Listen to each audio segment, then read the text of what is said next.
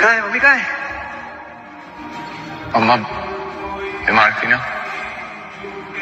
क्या बोल रहे हो भाई?